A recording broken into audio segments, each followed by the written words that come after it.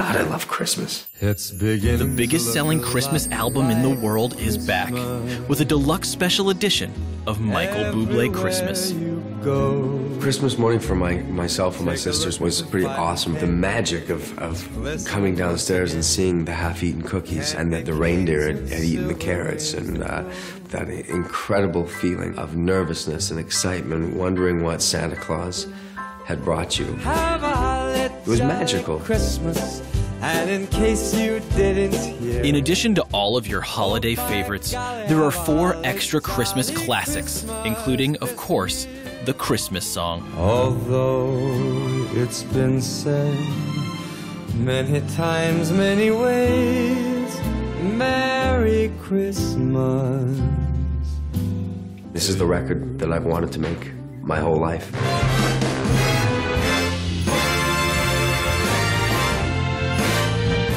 The way we recorded it was, you know, a way we probably haven't made records like that for 30 years. It was absolutely incredible. I knew when we were doing it that it was going to be a blast. On a lot of the tracks, I think you could probably hear me smiling.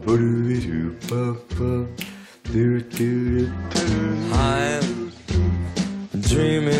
I felt that if I had done the right job on this and I was honest and I shared my love of this holiday, that it could be the greatest record that I'd ever made. You better watch out.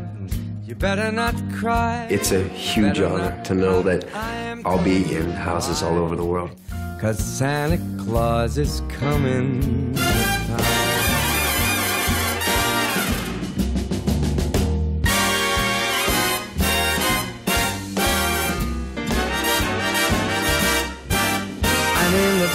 Fat man with the long white beard. He's coming to town.